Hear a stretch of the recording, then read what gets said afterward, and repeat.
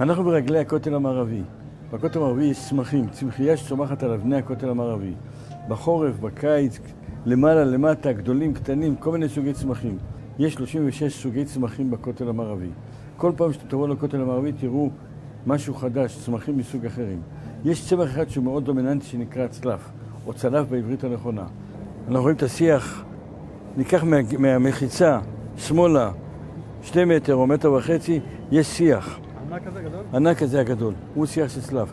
מתחת לגשר, יש עוד, לא רואים אותו מפה, יש עוד שיח אחד שזה בעזרת נשים. המעניין הוא שהצלף, יש לו פרי. בידי כל חורבות של בתים גודל השיח הזה של הצלף. יש לו פרי. בכותל המערבי, מאז חורבן בית המקדש, גודל צלף על הכותל המערבי, אבל אין לו פרי, הוא עקר. לפני כמה זמן התחיל לתת פרי בעזרת נשים.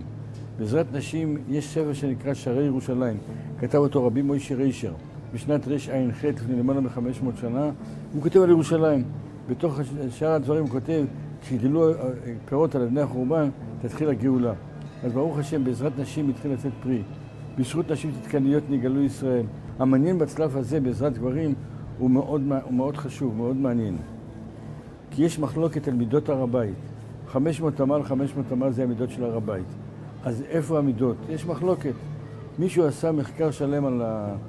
היום, בתקופה שלנו, עם רחפנים, עם מצלמות לייזר, עם כל מיני מצלמות כדי להגיע למידות הר הבית. אחד מהדברים שהיה בהר הבית, אנחנו קראנו פרשת חוקת פרה אדומה. את הפרה האדומה לא שחטו בהר הבית, אלא שחטו אותה בהר הזיתים.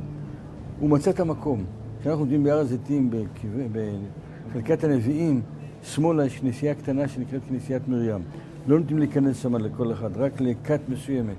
הוא הצליח עם שוחד להיכנס פנימה לתוך הכנסייה הזאת. למטה יש שם שרידים ששם שחטו את הפרה האדומה. המזבח שחטו את הפרה האדומה. עם מצלמות לייזר הוא הלך עם קו ישר.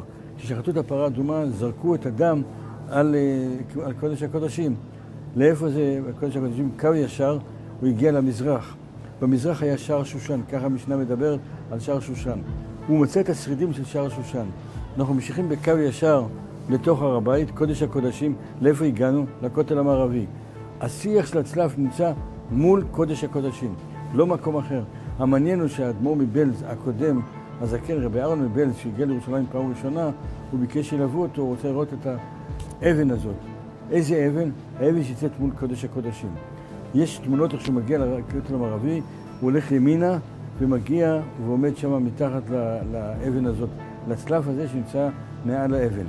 כל גדולי התורה שבאים לכותל המערבי, היה רבי שלמה זלמן אוירבך, אם היה הגאון רבי סושלם אלישיב, כל גדולי התורה, כולל מרן הרב עובדיה יוסף שמגיע לכותל המערבי, מסתכל ימינה שמאלה, אני התלוויתי לחכם בן שינה בשאול, כשהוא היה בריא, הגיע לכותל המערבי, ירד מישיבת פורת יוסף, ישר מתחת לצלף הזה.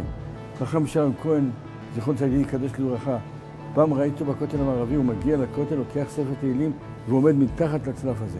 גדולי התורה הענקים האלו ידעו למה. למה עומדים מתחת לצלף הזה? כי הצלף הזה הוא מול קודש הקודשים. עכשיו, הצלף הזה, יש לו, כמו שאמרתי, יש לו גם סגולות מיוחדות. מאוד מעניין. אותו רב מוישה ריישר כותב שאמרו לו בירושלים שמי ש...